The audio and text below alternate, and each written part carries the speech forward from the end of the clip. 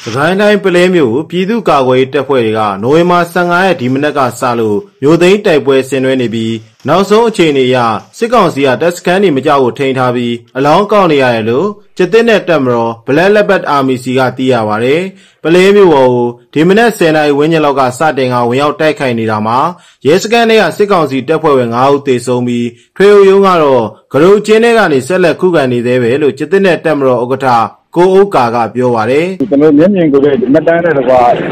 ကောက်ကောက်နေရှင်ကြည့်ရတာကတော့9ယောက်ပေါ့နော်ဒီရဲစခန်းက9ယောက်ဒီထွေအုပ်ထဲကတော့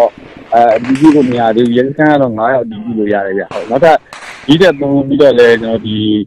အဲတည်ဆုံးမှုတွေရှိနိုင်တယ်ဗျအခုဆိုလို့ရှိရင်ဒီကျတဲ့မှာဝင်တဲ့ဖြစ်ကြောင်းကကျတဲ့နဲ့တမဲကလည်း6မိုင်လောက်ဝေးတာဖြစ်တဲ့သူတို့လမ်းလျှောက်ဆက်လာတယ်အဲ့ဒါဆက်လာပြီးတော့အခုကျွန်တော်ဒီဖြစ်ကြောင်း ကျွန်တော်တို့ကစစ်ကြောင်းပြန်ဆက်မှာသူတို့ဝင်လာပြီးတော့ဒီအလောင်းတွေကောက်နေတယ်သိရတယ်ဗျ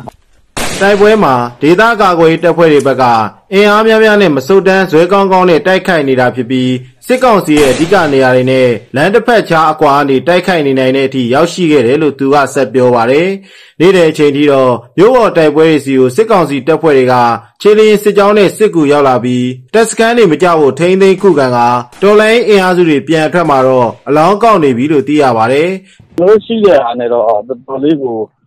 အားကောင်းကောင်းနဲ့ကျွန်တော်ဒီဘဲမလျှော့ပဲမဆုတ်တန်းကျွန်တော်ဒီ